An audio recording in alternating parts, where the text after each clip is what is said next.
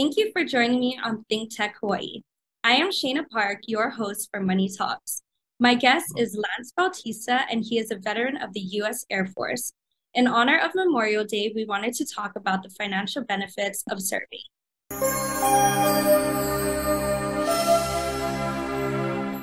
Hey, Lance, welcome to the show. Hey, good afternoon. Thank you for having me. Thank you for being on. So, um, I know I gave a little quick introduction, but can you in- introduce yourself a little more and tell me a little more about your background? Yeah, sure. Again, my name is Lance Bautista. Um, served 20 years in the U.S. Air Force. Uh, joined in back in 2000 and retired back in 2020, uh, three years ago. Um, shortly after that, um, I worked at uh, Amazon, and then right now I'm currently a JROTC instructor and a veteran coach at Just for Veterans. Wow, that's incredible. So you served a while, and you know why did you join the military? Um, so I mean, to be honest, in high school, you know, military was not my priority. Uh, you know, it was college. Uh, however, after spending about a year in college, um, I felt like I needed to do something a lot uh, more different rather than just hitting the books again. Um, but you know that's when the uh, the opportunity came up with me and my cousin joining the Air Force. So, um, you know, 20 years later, you know, here I am now, uh, retired. So, yeah, I'm very excited that uh, I've done 20 years, uh, but it definitely was not the plan from the beginning. Okay, I see. And you know, you mentioned Air Force. So, what did you do in the Air Force? And tell me a little more about your experience in the 20 years of serving in the Air Force. Okay, yeah. Uh, for the Air Force, um, I started off as a jet engine mechanic. So 15, 15 out of the 20 years, I was a jet engine mechanic. Four years, um, I was a recruiter. Um, I worked on multiple jet engines, you know, ranging from the uh, fighter jets to the heavies, the tankers. Um, you know, we've been stationed uh, several bases overseas. I believe we had seven or eight assignments, so that's that's a lot of moves for us. Um, and when I got into recruiting, that's what brought us to California. So I did that for four years, and I recruited altogether about uh, I'd say about about, about 120, um, you know, uh, recruits. So ranging from high school all the way up to college. That's incredible. Wow. So I know you mentioned a little bit um, about recruiting, you know, but how was that? How was that experience for you um, from tra- transitioning but working with fighter jets or jets and, you know, moving into recruiting? Yeah, so for uh, recruiting, you know, that is something that I always wanted to do, um, you know, early on in my career. And once I got the opportunity, um, it's not as easy as I, you know, what I thought it was. I mean, you know, it's everyone wants to join, but you know, sometimes people are not qualified. So that was part of the struggle for me was, you know, trying to get these qualified students or qualified, you know, recruits to to join the Air Force because not only you have to pass the ASVAB, but you have to um, pass the uh, your your physical as well. Um, there is a height weight requirement. Um, you know, there are certain uh, um, like criminal history that you, you shouldn't have, uh, that you can't have, because if you do, you know, obviously you can't join. Um, but overall, it was a, definitely a great experience. You know, I got to recruit, you know, just looking at uh, these uh, high school seniors, and you know, that was like maybe what six years ago, and here they are now. You know, they're probably either out of the Air Force now or continuing on. So definitely a great experience. You know, um, I do get a lot of accolades from not only them but then their families as well. So that's what you know makes recruiting a lot worth it. So. Oh wow! So you have a lot of great connections with of the hundred people that you did recruit, and do you still keep in touch with them, like all till this day, maybe? Oh uh, yeah, um, through social media. Um, you know, I still follow them through social media, and uh, you know, some of them are doing great things, and some of them are actually out, but they're they're continuing to do great things as well. Wow. So not only did you recruit them, but you also got to create a great relationship with these people as well. Correct. Yes. Oh, that's awesome. And I know you um, talked about um, going overseas or living in different areas. So could you tell me where have you been stationed? And yeah, sure. So our yeah, go ahead. Sorry, go ahead. Yeah, so um, our first uh, duty assignment was in Idaho. Um, have no idea where Idaho was from the beginning. You know, come growing up in Hawaii.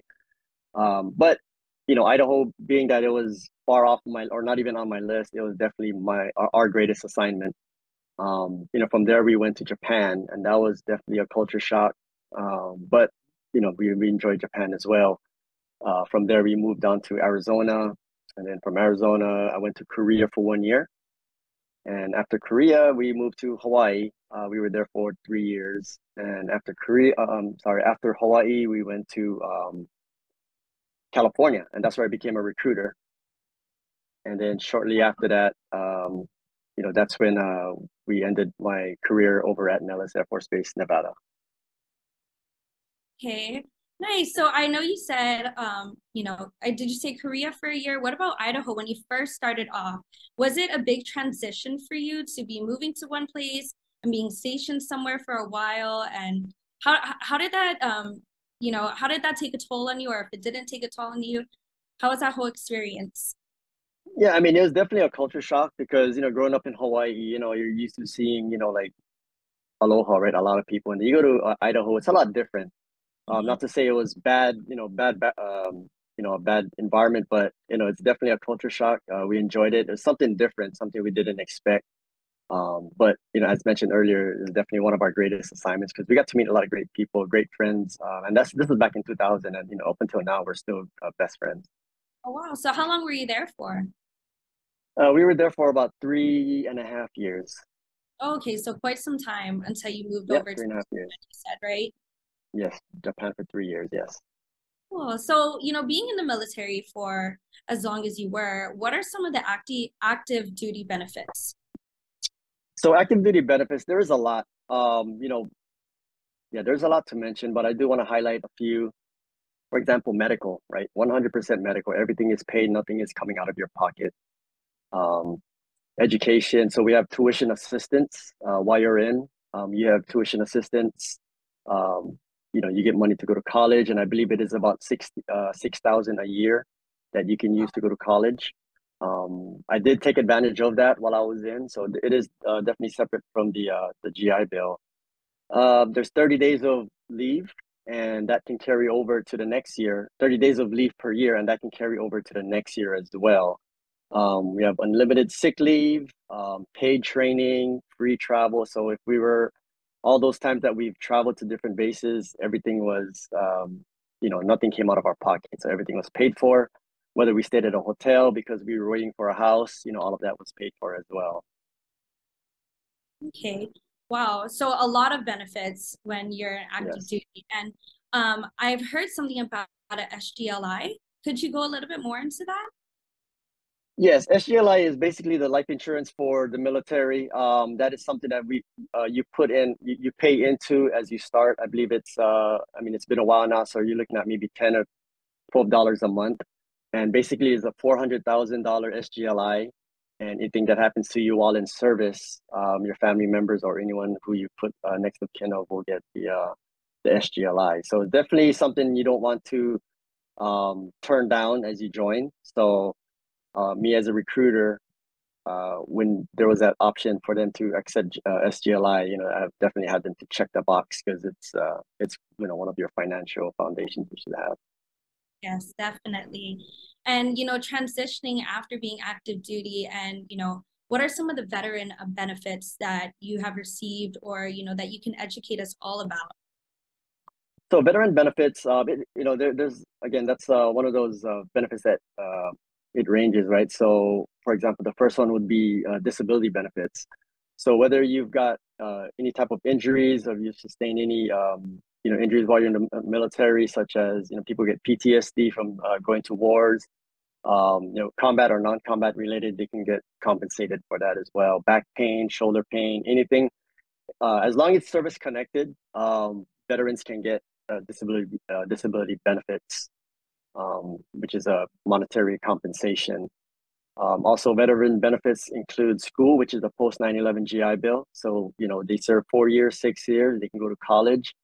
Um, they have uh, 30, yeah, 36 months of education benefits. So they can use that wherever in the stateside or they can go overseas and go to school abroad and, you know, they can continue to use that GI Bill. Wow, that's really cool because not only do you get to experience the road and be very hands-on in the military, but they do also, you know, hitting the books and getting some form of education and assisting you with the tuition costs. So that's very interesting about. And you know, what qualifies you to receive all these benefits? How long do you have to be in the military for in order to receive these benefits? Like, what are some of the guidelines that you could give us? So, um, for the uh, disability benefits, as long as you got a honorable or uh, other than honorable general uh, uh, condition, um, you're eligible to get those benefits as well. Um, that includes um, you getting your post 9 post 9/11 GI Bill. So you have to get out as honorable to receive those benefits. See, and then as for school, could you go a little bit more into that too? So how long would you have to serve in order to receive, um, you know, a certain amount of tuition? Uh, I believe it's uh, 36 months. Uh, you need to serve the minimum 36 months so you can get the post 9/11 GI Bill. Uh, but as mentioned earlier, while you're in tuition assistance, um, you know you continue to get uh, that paid off uh, while you're in uh, while you're in active duty. But um, yeah, going back to the veteran, you have to have at least 36 months of um, military service in order for you to qualify for post 9/11 GI Bill. Okay, great. Thanks for clarifying that. And then what about some retiree benefits? So retiree benefits, um, you know, we have health care. So that is the difference between someone that retired 20 years and someone that got out, right? There is two options for them to get um, health benefits. One is through the VA. And, you know, whether you've served 20 years or whether you've served four years, um, you are entitled to go to the VA to get uh, health, um, your health benefits. Uh, the only difference between a retiree and a, a better um, veteran that served four years is uh, as, a, as a retiree, you have what's called TRICARE. So that is another form of um, medical benefit that you get as well. That's in, uh, um, specifically for. Okay, cool. So it's really interesting how the um, you know military does offer all these benefits and great um, benefits as well. And I know you mentioned mm-hmm. going back to college that you joined college while still serving. So tell me about your experience. How did that go? What college did you attend? Um, what did you major in? Okay. Yeah. So I majored. So um, I majored in uh, business administration. I got my bachelor's in business and administration. Um, however, throughout the years, you know, I've got my uh, associate's degree, uh, actually two associate's degrees. Um, one is tied to my actual job as a jet engine mechanic. So I have an AAS, apply, um, Associate in Applied Science in Aviation Technology. And when I became a recruiter, um, there's another AAS uh, in Human Resources as well. Um, but you know, during the 20 years, you know, I've, you know, we we've traveled a lot, and you know, it's very fortunate that these um, bases um, have actual classes, you know, representatives re- representatives from different school. Um, and you know, I got my degree while I was in uh, through American Military University. That's where I got my bachelor's degree. Oh, that's awesome. And, you know, um, the fact that you were able to get two associate degrees, you're able to get your bachelor's degree as well while still serving. I mean, seems like you had a lot on your hands. Yeah. You a lot. yeah, it is. I mean, you know, especially when you're overseas, right? You know, it's, it's great that they have University of Maryland overseas. You know, we were we were in Japan, and you know, we took some uh, courses, and you know, it's it's a great benefit for you know all air, U.S. airmen or U.S. military. You know, no matter where they're stationed at, you know, if they're deployed, if they're even on a ship, there's still ways for them to go to school. Wow. So yeah, that's very interesting because I was just in Japan too. So it's just like here you explained that you get to take classes while traveling. Yeah. That's mm-hmm. probably that's my ideal life. I would love to do that. And going back to travel now, since you have visited a lot of places, you know, what were some of your maybe top three that you got to experience? Uh, I'd say you know Japan was definitely uh, one of our top. Uh, you know, it's definitely up there, top three. Um, you know, not only we got to experience what was in the local area around base, you know, we got to experience outside of base, such as you know Tokyo and um, you know all those major cities in in Japan. Uh, Korea, I enjoyed Korea as well. Um, a lot of great things to see in Korea, especially the food. You know, I like to eat you know different types of uh, oh, food. Yes. So whenever we're stationed overseas. Yeah.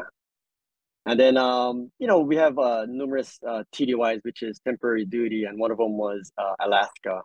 Um, you know, I went to Alaska twice, and you know, although it's way up there, or you know, the weather is, you know, kind of different, um, I did enjoy the scenery out there in, in Alaska. Yeah, I actually visited Alaska last year in August. Okay. Um, did not check the weather, I thought it was going to be sunny, so I packed all shorts. And lo and behold, it was raining the whole entire week. So Yeah, so the thing about Alaska is so I went there twice, one during the wintertime and one during the summer. So during the summer, it's constantly the sun is out 24/7. So that's something that you're gonna have to get used to. So that's why we have those um I mean, you know, the the people that are staying in in the uh the dorms, you know, it's already equipped with uh blackout shades or blackout blinds. That's cool. That's very interesting of all the, your top three places, you know, of course, the Asia countries, but also having Alaska up there as well. And you wouldn't be able to experience all these places unless um, you did join the military, right? Or correct, yes. Easy access as you did. Correct. Okay, so I wanted to focus this last part on um, what is just for veterans, and I really want you to deep dive and explain um, about anything and everything you can. Okay, yeah. So just for uh, just for veterans is a uh, veteran coaching business. Uh, what we do is we coach veterans on getting their disability benefits. Um, you know, early on, you know, I've, I've realized that there are a lot of veterans that got out even back in 2000 or 1990s have who have never filled out uh, a disability. Um, you know, for the, in order for them to, uh, to receive compensation. And when I talked to them, you know, they said I've suffered from PTSD even up until now. You know, I have flashbacks of me being at war. Um, I have this back pain that's been aching since I've been service, you know, since I've been in the service. And when I asked them, "Hey, have you, you know, talked to, you know, to, to anyone about this?" They're like, "No." So that's where, you know, that's where we step in, right? We help them with their claim. We help process their claim. Um, again, it doesn't matter if they got out 10, 20, 30 years ago, or even last week um, we're here to support them because it is a life-changing event when you get someone to win a disability claim and now they're getting compensated for life. Yeah and it does seem like the military does have a lot of benefits. So the fact that you are able to help these people and you know what is like the percentage rate? How many people do you think that you know retire or are veterans that um, don't fill out their benefits? Do you see a lot of that often uh, yeah, I mean, so far it's about, you know, I'd say about, you know, out of everyone that I've spoken to, maybe 20%, but still 20% is a high number. I mean, everyone should be, you know, everyone should be reaching out to, um, you know, any any type of agency or, you know, agency should be reaching out to them as well that, hey, you know, because you served in here, you served this time of the years, um, you should be compensated, you know, because of your loss of hearing and um, back pain, shoulder pain, PTSD, whatnot. So, um, although you know, so far it's been roughly about twenty percent. Twenty percent is still a significant number for people that have not um, filed a disability claim. Okay, interesting. And you know what? Um, what drove your passion to wanting to help and um, get into just for veterans? Was there a you know encounter you had or a situation, or did you just decide to get into this? Well, so for me, you know, a couple years. Well, I mean, you know, the the years prior to getting out, you know, I was always told, hey, you know, um, make sure everything is documented when you before you leave the Air Force, so that way, um, you know, if you've suffered any type of pain, if you've been through, um, you know, situations to where it's continuously haunting you, or you know, your your headaches continue get, getting headaches since uh, since you're in the service, you definitely want to get that checked out. Um, you know, but I had no, I had no clue, right? I mean, I just wanted to do my 20 years and get out. So fortunately, I ran into a lot of veterans who, uh, taught me this, um, how to, you know, make sure we submit our claim. And, you know, now that I'm out, even if it's after three years and now I'm with Just for Veterans, um, I strongly feel that um, we should be going out there and reaching out to veterans, um, again, whether it's 10, 20, 30 years ago, um, to help them get their claim. Because it is a, a life-changing moment for them, especially in today's world where everything is uh, very expensive. So having that monetary compensation, whether it's another extra thousand, two thousand, or even as much as four thousand a month for the rest of your life could be life changing for them. Yeah, I totally agree with you. And you know, I'm sure everyone who has ever encountered a meeting with you appreciates all the hard work you do to help these veterans and retirees get their benefits. And um, just to go back, if you could repeat yourself again, who can apply um, for this? Anyone and everyone? So, yep. Well, as long as you're a veteran and as, lo- as long as you got out as honorable or under general conditions, um, you're eligible for a VA compensation. So, for those of you out there that are, you know, um, that have never got a disability compensation, you know, you can definitely reach out to me on that. But those are the, the main requirements. Um, it does, I know we've had people that serve only two months and they still got out honorable and we were still able to help them because they you know whether they suffered something traumatic while they were in training and it affects them up until now um, you know, we still help them out as long as they got honorable condition. Great. And what is the process like? What does it what does the process look like when, you know, they apply or, you know, reach out to you? Yeah, so basically what we do is we'll do a first uh our first meeting will be a 30 minute consultation, you know, just introducing myself, introducing our CEO, and introducing the whole company. And you know, asking them questions as well, you know, how where where have they traveled, you know, what have you experienced? Do you currently have a claim? Um, you know, have you submitted a disability claim before? You know, it's it's all, all of that is a, a 30 minute conversation. And once they are ready, you know, you know, we do send them a contract the next day. You know, I do let them know, hey, make sure you read the contract. This is what we can do to help you. And if it's something that you want to move forward with, you know, they just sign it, and you know, we'll continuously um, reach out to them. And you know, it, it's a, it's, it's a, I don't want to say it's a long process, but it is a process. But as a, as a veteran coach, uh, we're here to help them every step of the way, uh, not only after they submit, but even after they've already got their claim. You know, we're still there for them, no matter yeah, what. It seems with everything that you're sharing right now, you guys are very hands-on to help really assist and help anyone and everyone who does mm-hmm. apply mm-hmm. get their benefits. Correct. Okay, so I know you brought some pictures, and um, I want you to, you know, kind of share with us about what's going on time of your life where you were at when you um, took these photos. And I know sure. you have photos, so share a little bit about your family too. Okay. So where um where was this taken? How old were you?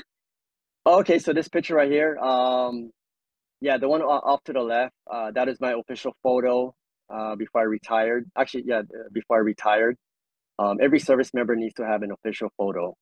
Um, you know, it's, it, I mean, it, it's for either, um, you know, applying for positions or hanging up on the wall, but, you know, you definitely want to have an official photo. Um, the other one with myself and uh, my wife, Sherry, uh, that is at our military ball. So it is a military ball every year. And I, I believe we've been to a few military balls, but this one was back in 2016. Wow, you guys look fantastic in those photos. Thank you. All right. And then um are these some of the planes that you worked on? Oh no, no, no, no. So no? The, uh, this is a yeah, that's a, a, old plane. But um, you know, that one uh, that was an air show back in Arizona. So as you can see, our whole family's there. Myself, Sherry, our uh, oldest daughter, Kaylin, Landon, and Ryden. Um, yeah, this was back in 2009, I believe. So, um, but you know, those are some of the things that um, you know, I was taking to heart, you know, for my kids to be with me wherever we traveled. So, you know, I look at pictures like this, you know, they've traveled and seen different places and very thankful for that. Yeah, that's incredible. Arizona. Now, what about this? Where were you located? So this one right here, where I'm standing next to the jet engine. So that was my job primarily as a jet engine mechanic. Uh, that is over in Korea. And the other one up on the top, uh, I believe that was on one of our TDY trips to Alaska. So uh, very um, fast-paced job. Um, you know, it's it's not one of those that hey, I'll do it later. It's it's it's a it's a mission that we have to get through. So, you know, you fix the plane and you have them go out there and do their mission. So, how long does it usually take for you to, you know, um, fix a plane, or when they assign it to you, do you guys have a time frame that they give you, or just get it done? Yes, no, there is a there is a metric that that we have to follow, right? There is like a, a eight hour fix rate. Um, if you're, I mean, you know, we do get dinged if we're not fixing the jet on time because you know there is a metric that we have to meet. Uh, it, it could range, you know, depending what the situation is. If it's just a, fuel pump, oil pump, or, you know, that can be relatively quick. But if it's like an engine change where you pull out the whole engine, you know, that could be like a, a, a one day process. Um, but for the most part, you know, we, we have that experience to be to work well under pressure. So if we have to move faster, we will. Wow, that's really cool. And then, um, yeah, tell me about this. So this right here is um, so I am also an Air Force JROTC instructor, and this was at the Veterans Day Parade last year of 2022.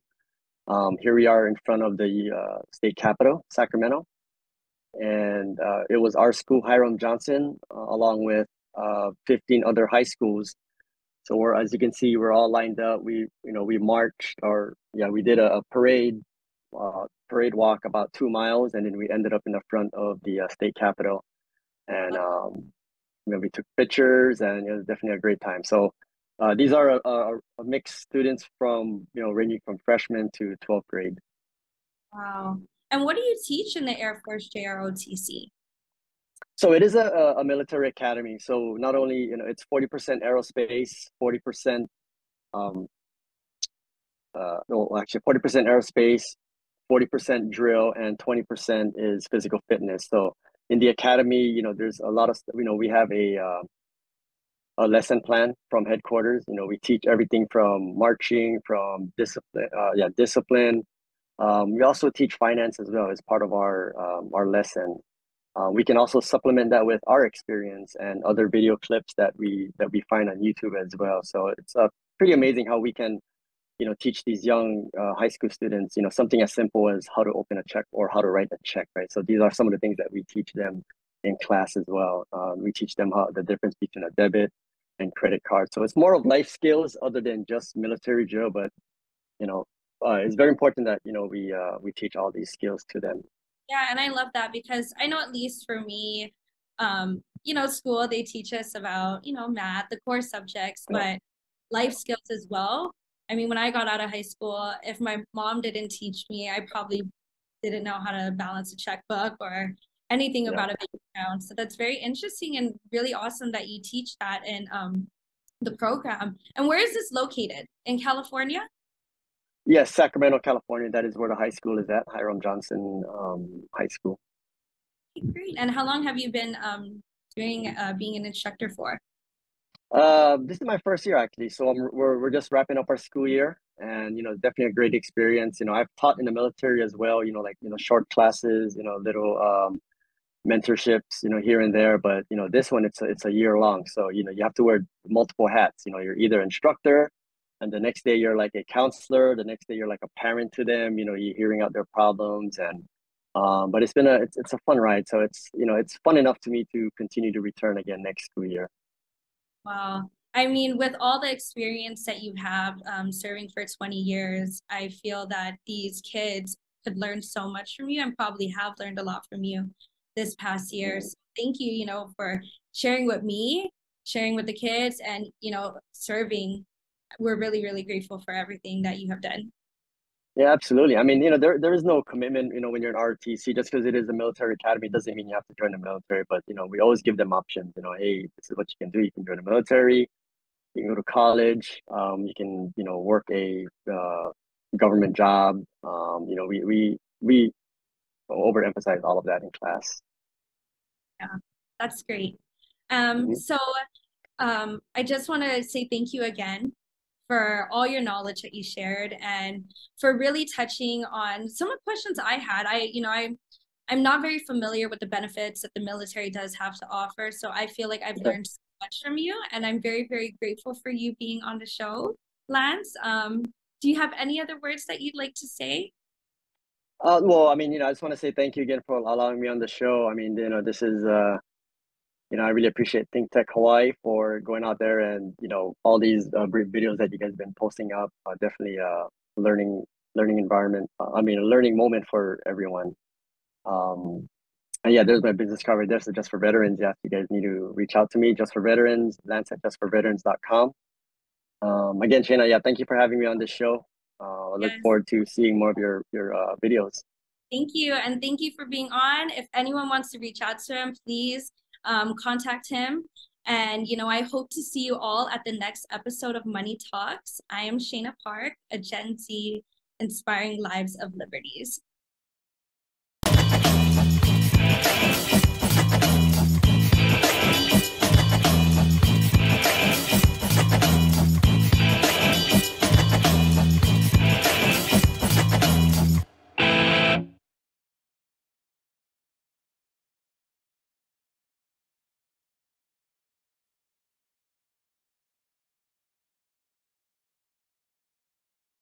Thank you so much for watching Think Tech Hawaii.